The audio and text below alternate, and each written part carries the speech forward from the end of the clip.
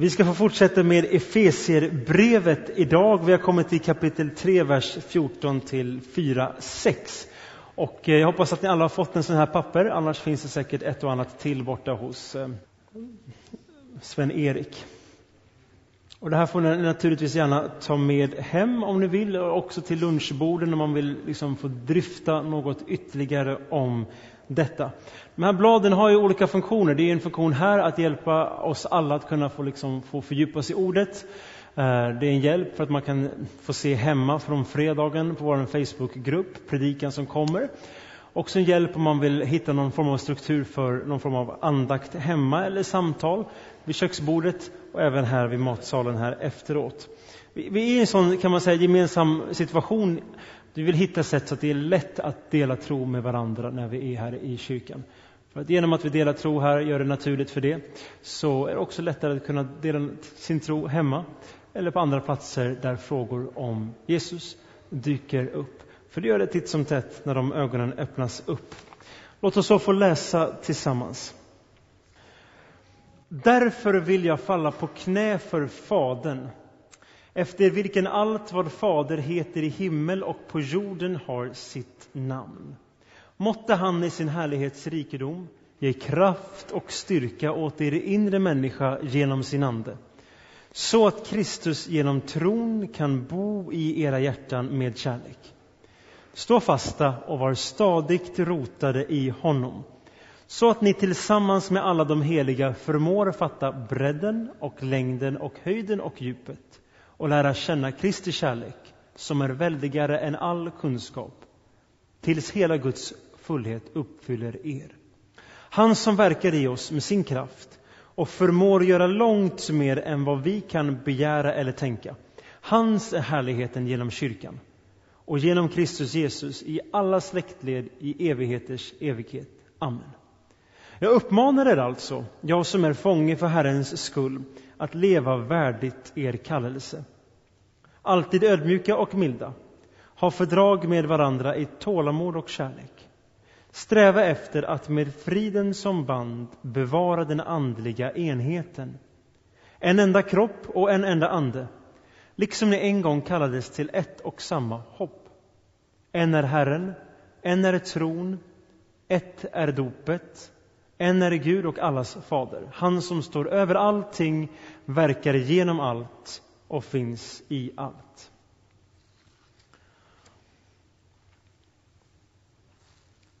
Som rubrik idag har jag satt att Ser jag styrkan i bredden? Ser jag styrkan i bredden?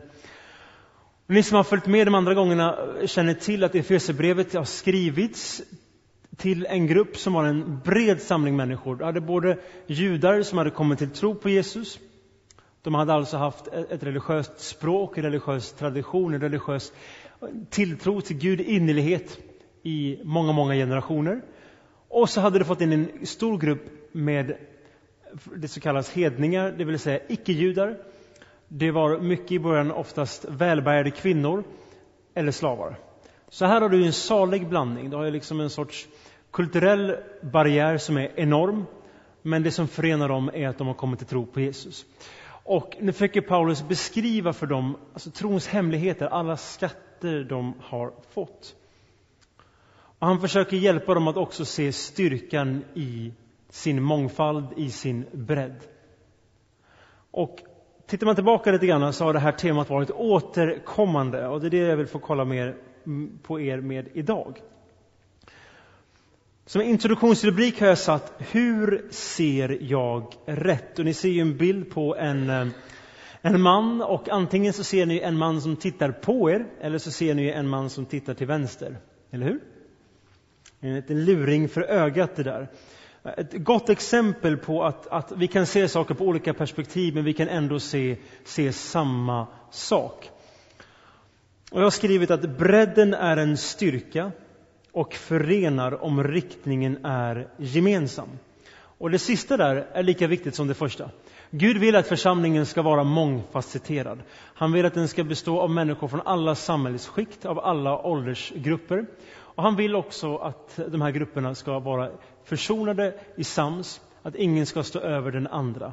Utan att den som ska vara en förebild är den som är en förebild i att tjäna så andra ser hur också jag kan få bli en välsignelse till andra människor.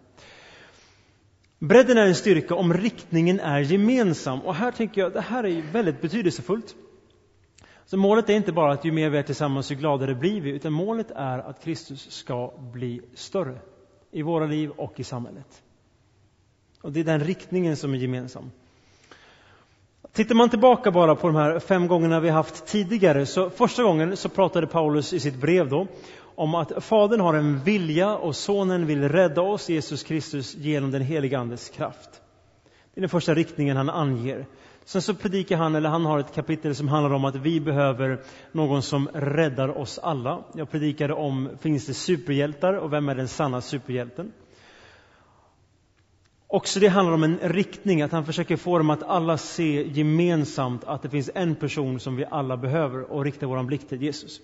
Sen så, predikade, sen så hade Paulus, han har en text om Jesus är vägen till fred. Det är Jesus som skapar fred mellan oss och Gud, mellan varandra och att även Jesus är den som bygger nytt. Och vi talade bland annat om integrationen och församlingens kallelse att evangelisera som en väg att skapa fred i vårt samhälle och motverka rädslor, spänningar och murar. Mycket viktigt. Förra veckan pratade Gud, Gud pratade Gustav om, om Guds plan, evangeliet till alla. Och så kommer han här och så säger Paulus så här då. Därför, därför vill jag falla på knä för Fadern. Alltså han har en riktning som är mycket, mycket tydlig vad han vill att vi ska se. Vi ska se att Jesus är till för alla människor. Och att när man som församling förenas i det här, ja, då blir bredden i en gemenskap en tillgång och inte ett hot. Olika samhällsgrupperingar blir en välsignelse, inte något som förstör för mig. Men det är ju lätt att tänka sig så har, om alla har varit i en viss åldersgrupp och så kommer en helt annan åldersgrupp in och så anpassas hela gemenskapens karaktär av det. Så är ju det. Jag har delat det här exemplet förut för att det är så basalt och tydligt. Jag och Sara har en fin relation, ett gott äktenskap och ett liksom, fint hem. Och sedan så kommer Iris då och sedan kommer Hugo som två välsignelser, barn till oss.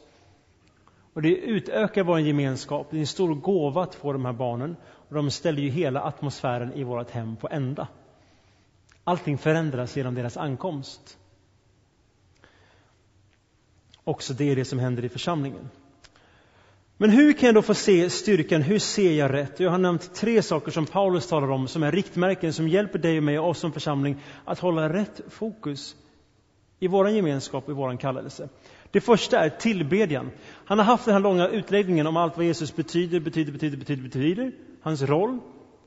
Och sen säger han, därför vill jag falla på knä. Alltså att kunskapen stannar inte här, utan den gör att jag vill förändra mitt, min livsinriktning, mitt perspektiv till följd av det jag hör om vem Gud är. Inte bara det var gott att lära sig detta, utan han förändrar allting. Paulus talar mycket om tillbedjan, det här ordet som stöter sig med oss alla, tror jag. Vi måste inse, om vi inte har gjort det, att vi alla är en del av vår självupptagna, narcissistiska, eh, pengacentrerade samhälle. Vi kan liksom inte fly ifrån det förrän den helige Ande räddar oss ifrån det. Så vi kan komma ur det, som, som, som vi får lära oss i Bibeln. Leva i världen men inte av den. Det är fullt möjligt att kunna få leva i världen utan att vara beroende av den så att den styr mina val, att jag kan få komma in i ett annat perspektiv. Hur gör jag det? Genom tillbedjan, slår Paulus fast, det första. Jag har lagt in två bilder på tillbedjan. Den ena är en person som då står på knä och den andra är den som när någon sträcker sig uppåt. Och jag tänker tillbedjan inrymmer allt detta och vi kan se församlings eh, och olika församlingar och kristna gemenskaper betonar det ena ofta lätt framför det andra. Vi kan ta ett tydligt exempel för alla som har farit på stilla dagar eller retreat. Då betonar man oftast den övre bilden här, alltså falla på knä. Att vi böjer oss under Guds vilja. Genom det kan vi stilla oss och få riktning igen. Så kan vi åka på en lovsångsmöte eller någon form av uppbyggelsekonferens och då betonas tillbedjan att alla står upp och sträcker händerna mot Gud. Båda de är lika nödvändiga. Och min förhoppning det är att Sörbergskyrkan är en sammanhang där vi utmanas i båda de här två. Och att, att det steg för steg får bli lika naturligt att gå ner på knä, förutom i nattvarden, som det är att få lyfta händerna eller tända ett ljus. Alla de här är uttryck för att jag behöver och vill välsigna Gud. Paulus bön som han har i brevet här, det är att vi ska förenas av Anden, bebos av Kristus och fyllas med Faderns hela kärlek. Han skriver i vers 17 här och 16, eh, att, eh, vers 17, så att Kristus genom tron kan bo i era hjärtan. Det är betydligt mycket större än att han bara vill ge oss kunskap. Att han vill bo i våra hjärtan. Det är det ena. Och att vi också sen då ska få fatta bredden och längden och höjden av Kristi kärlek. Och där har ni med kärleken. Och vi ska förenas av den helige Ande. Det kommer längst ner i 4.4, att vi är en enda kropp och en enda ande. Men tillbedjan, det här är ju jätteviktigt. Jag vet inte hur ni känner för det här. Har ni prövat någon gång i stillhet hemma? Eh, så började jag, för jag tyckte det här var märkligt med antingen både lyfta händer och liksom böjda knän. Det är ingenting vi gör till, var, liksom till vardags. Så. så jag började mina, mina liksom morgonböner eller bönestunder hemma. Att jag kunde säga, Gud välsigna den här dagen och hjälp mig att se din vilja. Så prövade jag att be det stående på knä och jag märkte att någonting tog emot menar, vi har ju en kultur idag som gör att väldigt få bugar och niger inför liksom magistern eller fröken eller kungen. Det är väl eventuellt kungen då som man nästan liksom så böjer sig. Och vissa vill inte ens det. Ingen ska vara över mig. Och det är jätteviktigt att Jesus får vara över dig om du vill finna frid för ditt liv. Det är oerhört betydelsefullt.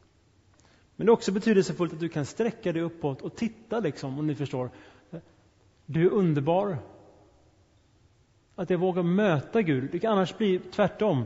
Gud är så stor, jag kan inte förstå honom. Gud är så stor. Han vill igen, eh, att vi drivs av någon form av, av eh, negativ gudsfruktan. Vi ska ha en positiv gudsfruktan. Han är större, alltså vill att han leder mig. Men jag vill tillbe och prisa honom för att han vill leda mig. Och då förenas de här två. Det är det första Paulus talar om här, om tillbedjan. Och han säger det som mening 1, därför vill jag falla på knä. Han säger det i avslutningen av sin första mening i vers 21. Hans härligheten syftar tillbaka till Fadern genom kyrkan. Och han slutar i 4.6. Han står över allting, talar också genom Fadern, verkar igenom allt och finns allt. Det finns ingen som är större än Gud, Fader i himlen. Därför kan man som kristen säga, ja, jag är fullt förvissad om att den Gud jag tillber är den sanna guden. Han står över allting annat. Jag kan frimodigt vilja dela med mig till det från människor, oavsett vilken kultur de tillhör, oavsett vilken annan religion de tillhör, eller om de inte tillhör någon religion alls. Man kan vara frimodig, att det finns en underbar Gud som ger härlighet. Hur kan jag inte vilja dela med mig av honom till någon annan? Det andra är, hur ska vi då komma in i det där med tillbedjan? Hur kan man komma in i detta att jag kan känna att jag kan sträcka mig mot Gud och samtidigt vågar underställa mig Guds ledning?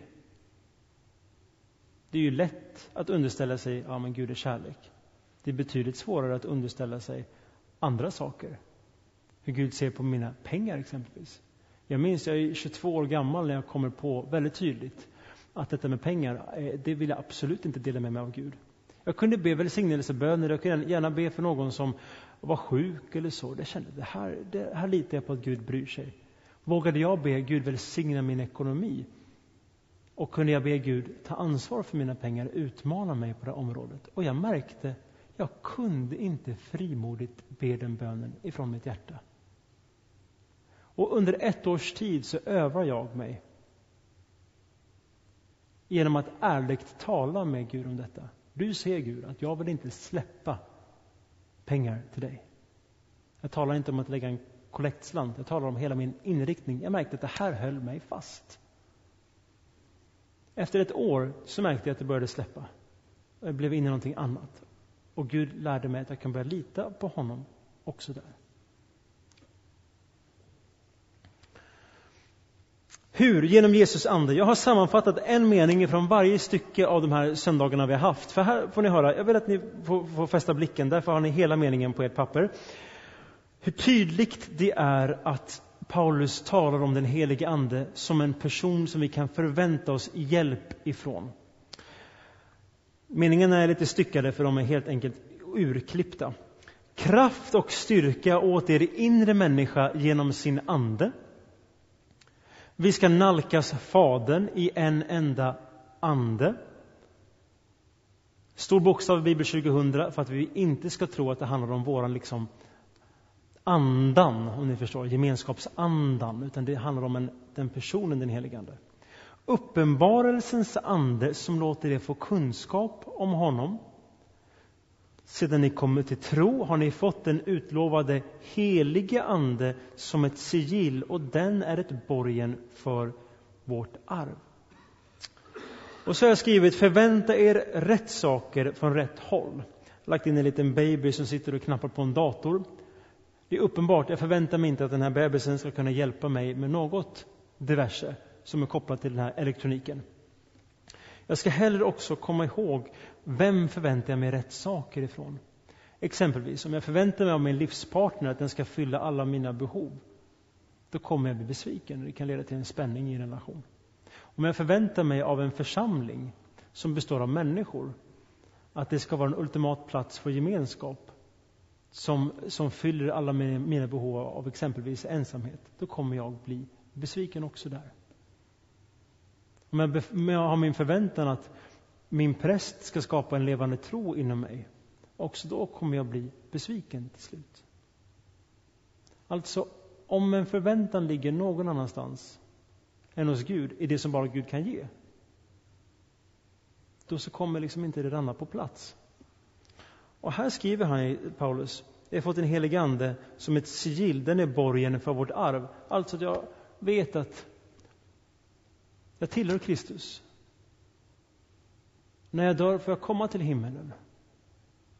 Gud har förlåtit mig mina synder. Jag får gå vidare. Han lever inom mig.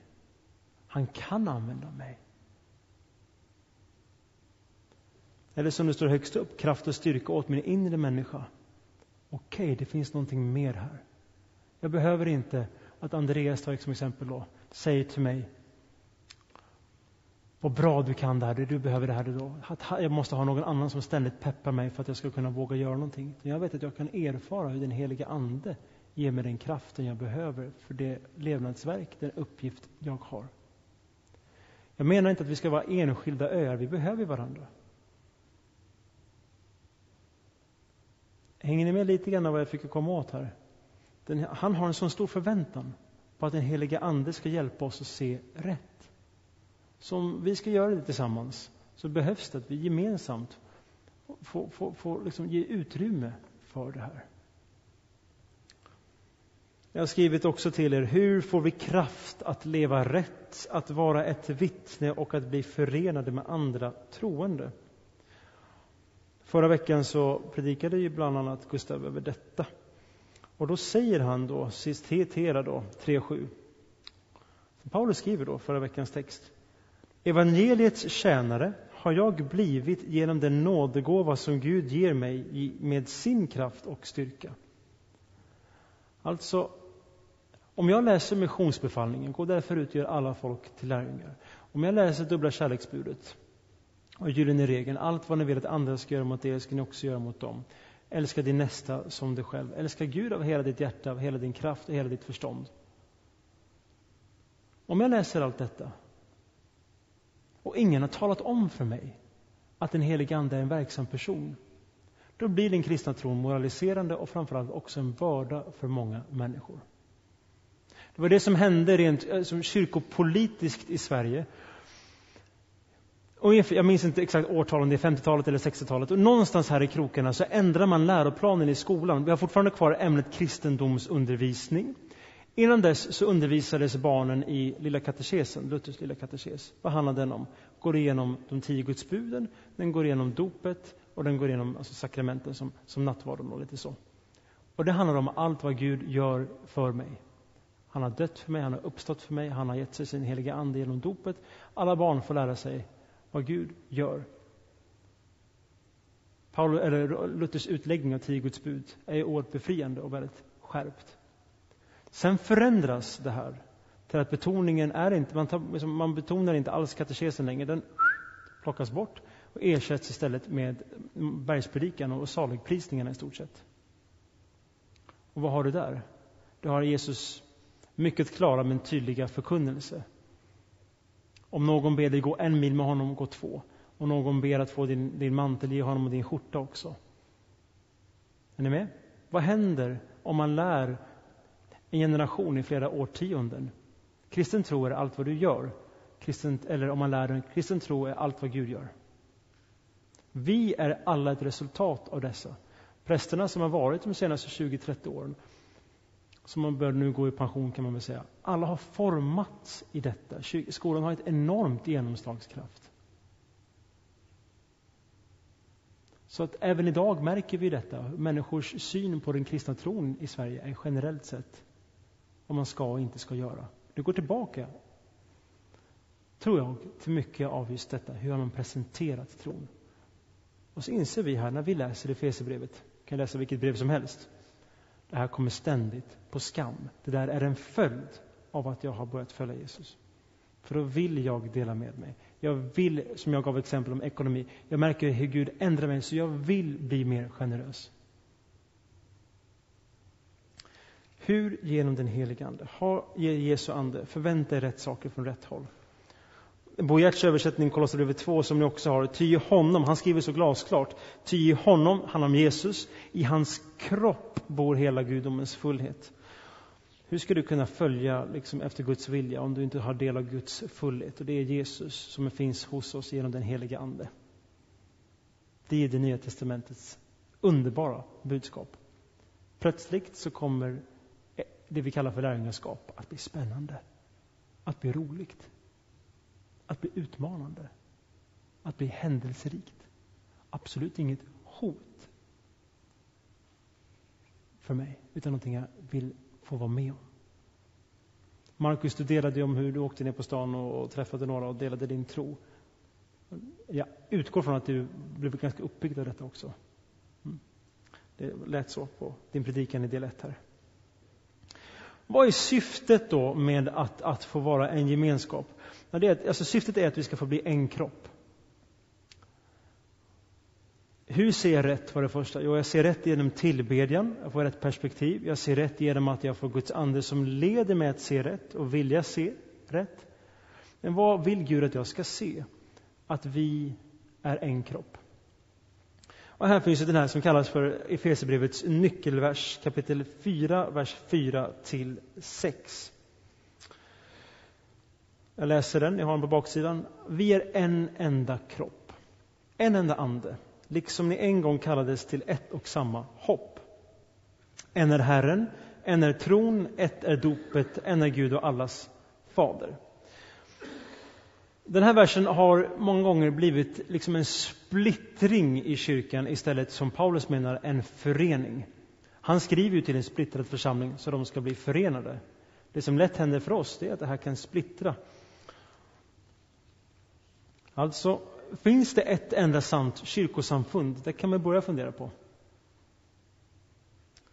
Här talas det ju om att liksom allting är ett och vi ska bli ett.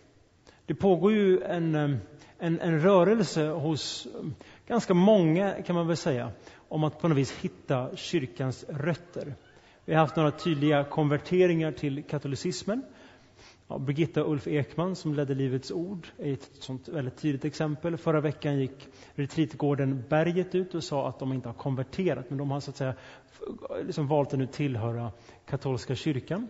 Några biskopar gick ut och hade extremt starka formuleringar som jag häpnade inför att läsa hur man som kyrklig ledare kan uttrycka sig så.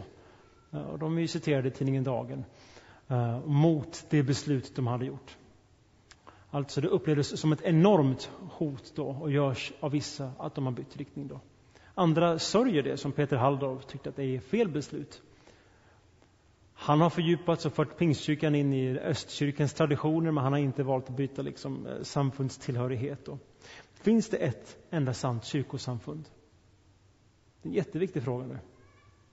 Sörbykyrkan, vi vill vara en kyrka som, som eh, är tydlig med vår centrering kring Jesus. Ett skäl att vi har de här två delarna är för att ta tillvara verkligen rikedomen i Svenska kyrkans eh, liksom erfarenhet och tradition kring, kring sakramentet som nattvarden och, och även kyrkoåret. Men vi vill, hellre också, vi vill samtidigt betona också EFS-arvet som vi också har tydligt i vår kyrka om den personliga tillämpningen, den personliga tron, den mer bibelutläggande undervisningen och tilltalet. Och därför prövar vi nu under hösten, som ni vet, de här två akterna. För att hitta en väg framåt, så att inte någon får liksom kraft över den andra. Det är många kyrkor som har splittrats på grund av olika betoningar. Då. Hur ska vi förstå det här? Alltså, här kan man gå in och ha ett bibelstudium om varje begrepp. Men jag vill säga några korta saker. Och det första och det största, det är att Paulus skriver då i vers 3 kapitel 4. Sträva efter att med friden som band bevara den andliga enheten. Så målet är enhet. Målet är större än enheten i Sörbergskyrkan. Målet är större än enheten i Brickebergskyrkan eller Almby församling eller Gode Hedens kapell för att nämna några av de kyrkorna som är nära här. Ibland läser vi det här som att det bara handlar om oss. Men målet är ju enheten mycket större än så. Men den är också lokalt. Och Sen vill jag att man får fästa ögonen på att Paulus skriver inte den musikaliska enheten. Han skriver inte formens enhet eller organisationens enhet. Det är också väldigt betydelsefullt. Ofta säger vi att vi, man startar nya kyrkor på grund av teologi. Väldigt ofta är det ledare som vill olika saker. En vill betona evangelisation, en vill betona lärjungaskap, en vill betona lovsång och tillbedjan, en vill betona fördjupande sångtexter. Och så splittras man på grund av musiken exempelvis. Och Paulus, han har en grupp som är mycket, mycket mera blandad. Det kanske någon kyrka här i våran, i våran stad. Och är slavar och rika människor som anställer slavar som sitter i samma församling. Bara en sån sak. Bli ett. Låt den helige Ande leda er till ett. Håll blicken fäst vid vad som är syftet. Och så säger han, en är Herren, det vill säga Jesus. Det finns bara en Jesus. Det finns en tro, det finns ett dop. Det finns en Gud som är allas fader. Sök att finna honom och dela honom med andra. En församling som fokuserar på det här har inte tid att bråka om, om små saker som vart stolarna ska stå. Eller vad kyrkfiket ska kosta. En församling som tappar målet, det är som allting börjar med, den här mannen i början med två ansikten. Det är ju om en församling tappar fokuset från det viktigaste, dubbla kärleksbudet, missionsbefallningen, då blir man ganska snabbt en gemenskapsklubb och då blir förändringar i den gemenskapen hotet. Tänker jag rätt, tänker jag fel? Jag ställer som frågor till er här angående just detta. Men syftet är att vi ska få bli en kropp. Och där har ni också den andra, kan man säga, kändaste versen i, Bibel, eh, i den här boken, i Efesierbrevet. Det är vers vers eh, 18 kapitel 3.